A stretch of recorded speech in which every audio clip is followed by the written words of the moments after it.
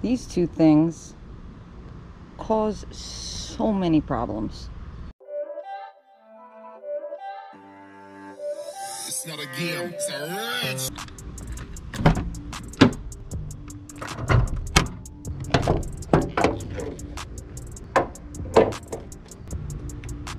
This is a distributor. Old cars have them, new cars have coil packs, and uh, you know, newer updated ignition systems. So I've been learning a lot about how all this stuff works.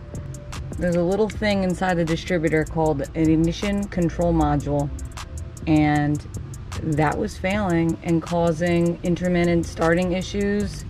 I had weird like acceleration problems. I just assumed, and this is crazy to assume this, but current situation I'm in, this is kind of how I had to assume this.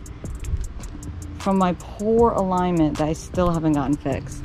Like I'm toed in, I have positive camber. I still need to sort this out and I have not, just haven't had the time to like spend a whole weekend straight taking off the spindle and like shaving that piece and then, you know, doing the inner outer tie rods. Like I really, and just get it aligned. I just don't have the time. Just been so busy. But I thought my violent shaking on acceleration was due to this bad alignment. But the other day I drove my car and hit 55 miles an hour. Whoa, we're fast now, boys.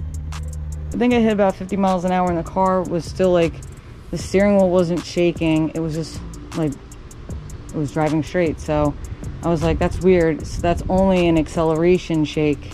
I started doing some research and I found that the ICM going bad can cause acceleration shakes, piss poor gas mileage, was I've had. Um, I'm like just a whole bunch of other issues. But the main issue, I go to start my car, the car would have power to it, like it's a brand new battery. Car would turn over and run, but then die instantly. And it would do that, do that, do that randomly. Sometimes it, it, it's been getting way worse. The other day I took this to work. It took like six times for the car to start. And I'm like, what the hell's going on? And it, it was just weird. So it led me to think it is the ignition.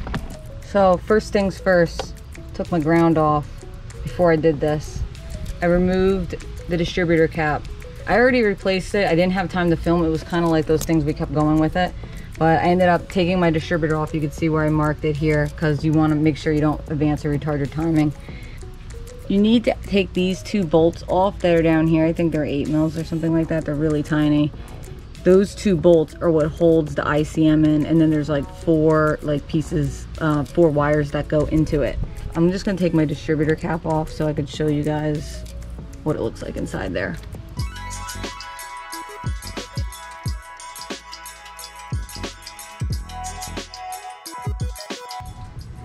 So this is what your distributor looks like when the cap's off.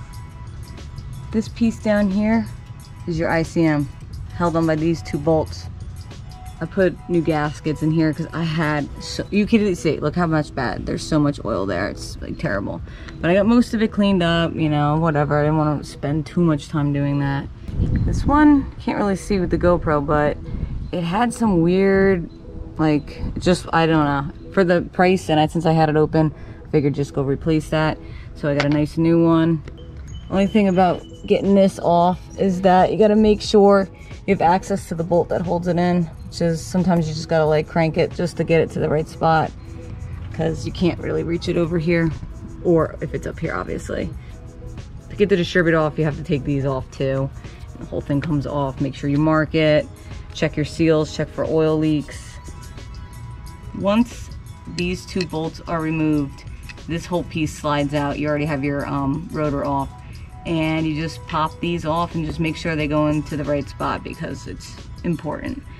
And you have to take the heat sink off, which is I think two more little bolts. And you have to put this one on your new ignition control module. And that's pretty much it. I mean, this cured everything. My car starts perfectly now. And it was a really annoying issue that I couldn't figure out. I still need to replace my alternator and my alternator belt because that's just something I need to do. But for the meantime, probably just going to replace the belt and just keep an eye on everything and just pay attention to how it's starting and the consistency. But you want to make sure your gaskets are good because anytime this gets moisture in it, it causes problems. And uh, yeah, easy job. Only costs about 70 bucks to fix. And she's running like brand new. It has twice the power. I'm gonna go on a ride in a little bit and I'll show you guys. So boom, that's all you really need to do to fix this problem. This stupid little piece. You can see these are where the heatsink bolt into. It's pretty crazy. So yeah, this is just the stupid little things that go wrong and you could fix them yourself. Just need to like take your time, figure it out, and you'll save yourself a lot of money. Some people probably have given up with this car or like come up with ghetto tricks to just get around it, but just, fix it. That's it's that simple, yo. Know? That's it. And in other news, more of my exhaust has crumbled off, literally disintegrated off. Look at this, it's unbelievable. Dealing with 30 year old Hondas, 31 year old Hondas. But uh, yeah, running really good, really happy. Maybe we'll go for a ride later. It's literally like 900 degrees out. Oh, and that was another thing. It started having the the, the non-starting like well issue and like idle really low issue when it was hotter out.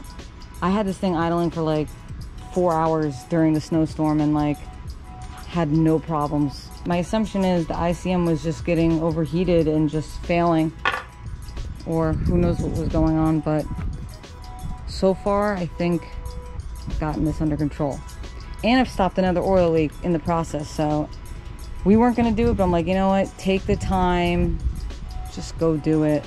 Like, why not? What's stopping you? Took me an extra 30 minutes out of my life to go down to AutoZone, pick up the distributor gasket, replace it. Yeah. Also took the time to like clean up stuff. Like, you remember what this motor looked like when I first got it?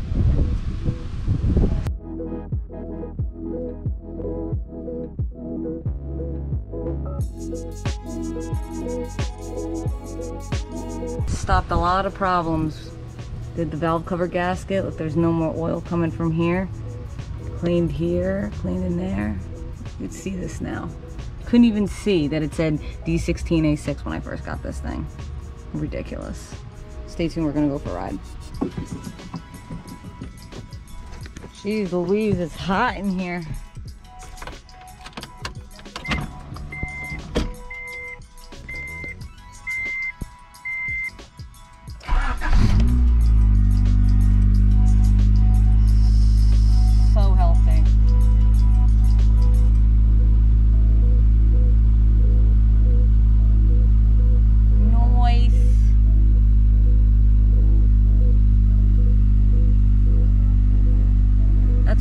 She should be. It is literally like 100 degrees out. It is dreadful. Like, I don't know how people live like this.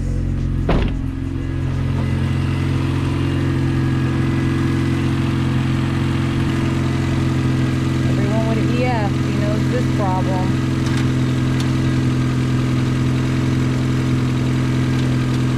That's how you fix it. I should just get, I should just replace this latch thing, but I think it's too much money. And or I don't know if I'll ever find it. No tools left in here, everything's tight. For that. Old car problems. To, still gotta figure out how to charge and deplete all the oil in the air conditioning. That is the next. Because believe it or not, this car does have AC. Oh. Like, every component for it is here other than the new fluid and it's already been converted so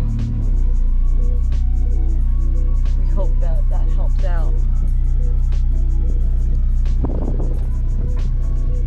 that's it good. I mean, those rattles you expect.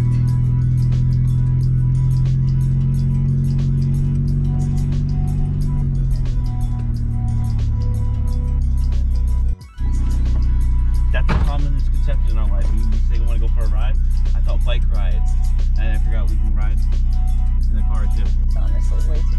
I think it's too hot to even be in this car. How juicy this interior is. These vents here. How 90s is this? Juicy is the operative word. It's so 90s this car. So 80s. It's such a weird. See, It's just that good time. Just Get innovative bounce for this thing. Like it still has a little bit of alignment shake, but before it used to shake so bad. On accel? On acceleration, it would be like violently shaking. But uh, as you can see, 40 miles an hour and it's sitting pretty good.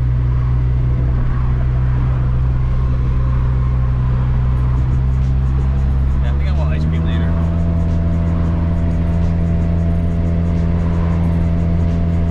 I couldn't even get up to like 50 miles before it was like terrifying. Just because the car would shake and it would have no power, and that's like a sign that you're having some sort of an ignition problem. As we learned from Uncle. Whatever. Shout out to Uncle Tony's Garage, total god. Yeah. Oh, biggest fear when you own a Civic wagon is that someone's gonna hit you, and then you're just gonna die, and that's it. Whoa, this guy's on my ass, bro. You know the tradition after we fix a car, we go get ice cream.